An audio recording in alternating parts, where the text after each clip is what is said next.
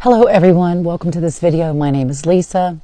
And um, again, if you just really don't care about listening to anything about Depp versus Heard, go ahead and just swipe because I'm going to say something.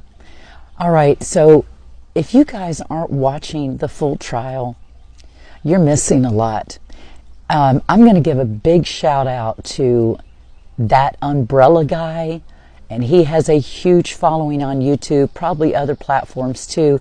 I'm going to at him uh, in this, definitely on YouTube, where I can do things like that. That's just somehow not doesn't work, or I don't know how to do it on other platforms.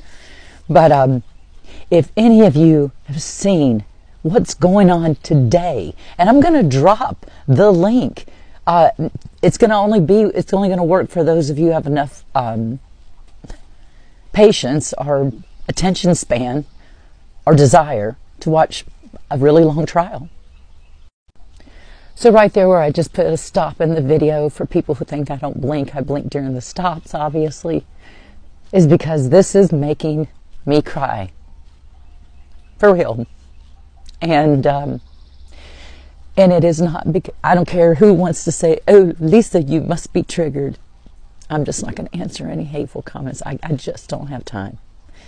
And no, you can't hurt me. Please. You're coming at me across the computer screen. Can't do very much. Okay, and I just made another stop, and that's just so that I can keep my voice steady while I talk about this. If you cannot see the emotional pain that Mr. Depp is going through and has gone through, and he just said in the stand on the stand for the last six years. It's been way much, way longer than that. It's been since his childhood. I could edit out this video and make myself look a whole lot better why I say this.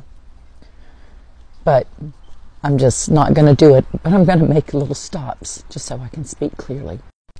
Anyone who's been a victim of a narcissist or any kind of an abuser you identify with Mr. Depp and you can see he's telling the truth. And those are the only ones of you that I care to hear from. But feel free. And everyone who wants to say, well, you must be a fan. Yes, I have been a fan. And I thought back in the day, you know, my fan about Johnny Depp was his looks. That's true. But right now, I see his beautiful soul. And if I ever could meet him, I would feel honored and I would just want to give him a hug. And that's the truth. Thank you.